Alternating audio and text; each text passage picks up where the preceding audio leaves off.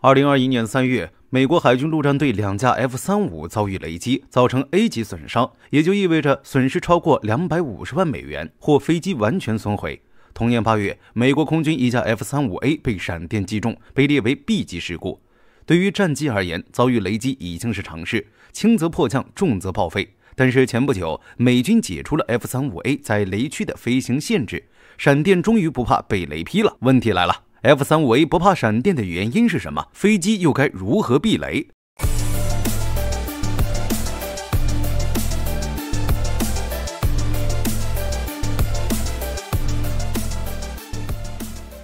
根据防务快讯报道，在经过四年的飞行限制之后，美军在三月十九日解除了 F 三五在雷区的飞行限制。最初限制飞行的原因也很简单，避雷措施出现问题。二零二零年，美国军方发现 F 三五机载舵气系统的管道损坏，OBX 的作用就是将氮气泵入飞机的油箱，防止油箱被闪电击中时发生爆炸。管道损坏也就意味着多型气体没法用，导致 F 三五 A 被闪电击中后，油箱很可能就会燃烧爆炸。重点是，这次损坏的还不止一架。在随后的调查中，二十四架战机中有十四架出现了这个问题。所以，自二零二零年六月开始，美国就禁止 F 三五 A 在飞行时靠近雷区四十公里以内。除此之外，F 三五 A 的单引擎战斗机在复杂天气环境下的安全性也比不上 F 二二这样的双引擎战机。当然，就算是 F 三五 A 的舵气系统没有出问题，在雷区飞行也是有风险的。二零二一年三月，日本岩国基地的海军陆战队航空站两架 F 三五 B 战机在训练时遭遇雷击，虽然飞机平安降落，无人员损伤，但两架飞机都受损严重，达到了 A 级损伤。二零二一年八月，一架 F 三五 A 被闪电击中，飞行员安全回到机场。不过，美国空军还是将这次事故列为 B 级事故。截止到二零二二年一月，美国空军、海军和海军陆战队的 F 三五累计被闪电击中十五次。每次事故造成二点五到五十七万美元的维修费用。说实话，飞机被雷劈属于常事，不只是 F 三五被劈，其他飞机也是这样。闪电可不管战机有多贵，直接一视同仁。二十世纪八十年代，美国空军一架 F 幺六因遭雷击，机腹空腹内油箱的燃油蒸汽被引燃爆炸。二零一七年，美国空军一架 B 五二在飞行中遭遇雷击，垂尾蒙皮被打出一个大洞。二零一八年，科威特空军的一架大黄蜂机身被闪电击中，在座舱盖上留下了明显伤痕，使战机发生剧烈震动。所以，根据美国空军的飞行规定，所有美国空军飞机的飞行员都禁止主动飞入雷区。根据相关数据统计，一架飞机平均每三千小时就会遭遇一次雷击，美国一年就有大约七千次民间飞机被闪电击中的记录。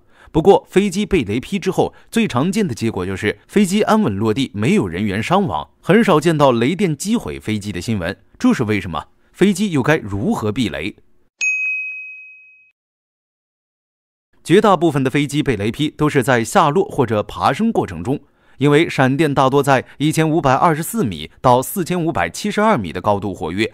而雷击有两种情况，一种是飞机自身在穿越强电区域时被雷劈，这种情况一般发生在三千米以上的高空，占总事故的百分之九十；另一种则是云地之间发生闪电时，飞机刚好路过，这种闪电的能量最大，导致的后果也更加严重。除此之外，喷气式战机在没有雷电迹象的区域也可能引发雷电，因为热废气起到了电负荷载体的作用，以电离的方式飘在飞机身后，这就导致喷气式战机在飞行过程中成为一个绝佳导体。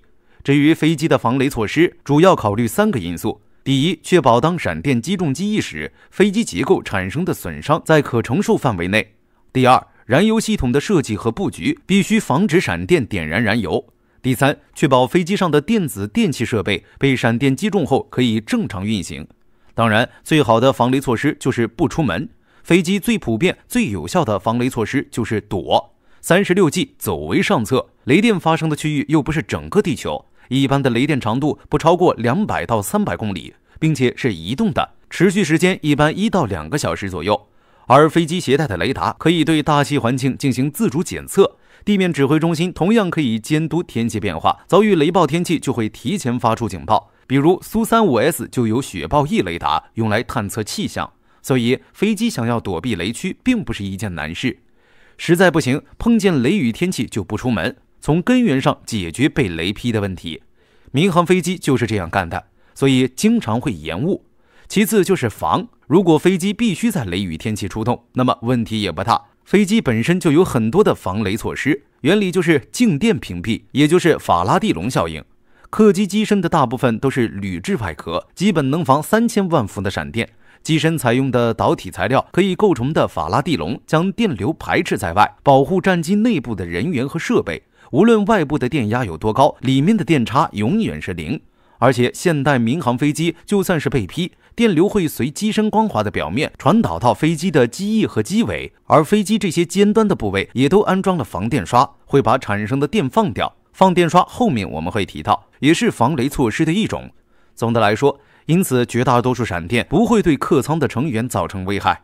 最近一次雷击造成的空难还是一九六三年，也不会对飞机机身造成多大的损坏，最大的可能就是漆面磨损。甚至有的维修手册上会建议使用磨砂和锉刀打磨雷击点。只是飞机机身不会出现意外，并不意味着我们可以随便飞。飞机的雷达罩在雷区很不安全，为了电磁波的透波性，雷达罩大多使用复合材料，不导电的那种。如果闪电刚好劈到雷达罩上面，很容易产生破损。这点在战机上也是一样的。为了追求轻便速度，现代战机的机身大部分都是复合材料，飞机的金属导体属性大大降低。在这种情况下，又该如何避雷？解决方法也很简单，让复合材料导电就好了。二十世纪八十年代的时候，NASA 做过一个丧心病狂的实验，主动派飞机挨雷劈来试验雷击对飞行的影响，确定其对复合材料或者电传飞机的威胁有多大。也就是 NF 幺零六 B。在六年内穿越了一千四百九十六次雷区，并被雷劈中七百一十四次。最夸张的是，在一九八四年的一次飞行中，在四十五分钟内被劈七十二次。当然，这雷也不是白挨的。在反复被雷劈的过程中，NASA 总结了一套防雷手段。根据 NASA 的试验以及实际使用复合材料的民航客机经验，复合材料飞机并非不耐雷劈，只是会破坏飞机的关键设备。比如发动机失灵，甚至是直接击中外置油箱，产生起火爆炸。为了避免这种情况，各国就在复合材料里添加了导电材料。就比如 A350，空客在复合材料板中嵌入了金属箔来增强导电性；波音747则是在复合材料表面嵌入了长达九十二公里、重达一吨的铜制导电网。战机机头那些条状物也都是这样的金属导电条。保护雷达等重要的电气设备，常用的导电条有金属箔条、金属带和纽扣式三种，加上复合材料还要涂刷铝粉和封孔剂，这使得复合材料机身外可以形成一层法拉第笼。以法国的阵风战机为例，当靠近雷区时，战机机身的表面就会形成一个屏障，保护机内成员。同时，飞机上还有放电刷，就算是被雷劈了，也能把电导出去。放电刷一般都安装在主翼或者尾翼尖端处，可以将雷击所造成的电流以及飞行中与空气摩擦产生的电荷释放到大气中。瑞典的英狮、英国的姚氏也采用了这种装置。除此之外，飞机的设计都有接地点，在飞机降落之后，维护人员一般都会在接地点搭一条地线，将飞机上的电荷转移到地面，从而确保飞机安全。这和油罐车所拖的铁链是一样的道理。同时，飞机在投入使用之前都会进行各种防雷击安全试验。航空条例也明确规定，飞机必须能够承受灾难级雷电的袭击。在任何可预见的情况下，飞机的设备系统都能发挥基本功能。顺带一提，如果闪电强度超过飞机导电性能，对飞机零件造成了损坏也没关系，只要这个设备够重要，那飞机上肯定不止一个，有备份，换一个就能继续飞。也就是说，当前飞机的设计已经足够避免雷击对机身的影响，就算是被雷劈中，也可以将损失减少到最小，保证飞机可以继续飞行并安全着陆。不过，F 三五的避雷设计与上面说的方式稍微有点不一样，毕竟还要考虑五代机的隐身涂层。雷击击中飞机的损伤一般分为三类：雷击点损伤、结构损害和电子设备损害。其中，雷击点损伤，也就是雷击直接击中机身之后，会留下很多雷击接触点，冲击波会直接在雷皮上打出一个洞。不过，绝大多数闪电只会破坏破蒙皮，不能击穿金属。但是，飞机搭载的电子设备有可能被雷劈成短路，所以 F 三五的防雷设计重点就是遭遇雷击之后，美国在之前的报告中就提到了 F 三五的蒙皮不提供固定的被动防雷保护，所以 F 三五在训练时要远离雷电，在机场停放时也要布置保护手段，比如移动式避雷针。美国海军陆战队就是第一个为 F 三五购买专用避雷针的客户。二零一八年八月八日，海军陆战队宣布计划从 LBA 公司采购十一根避雷针，也就是 PLP 三八 MOB。地面的问题解决了，那在空中飞行时被雷劈了怎么办？因为没有被动防雷保护，美军直接跳过了被雷劈不受损伤的要求，而是只要飞机遭遇雷击时没有当场坠毁就算胜利。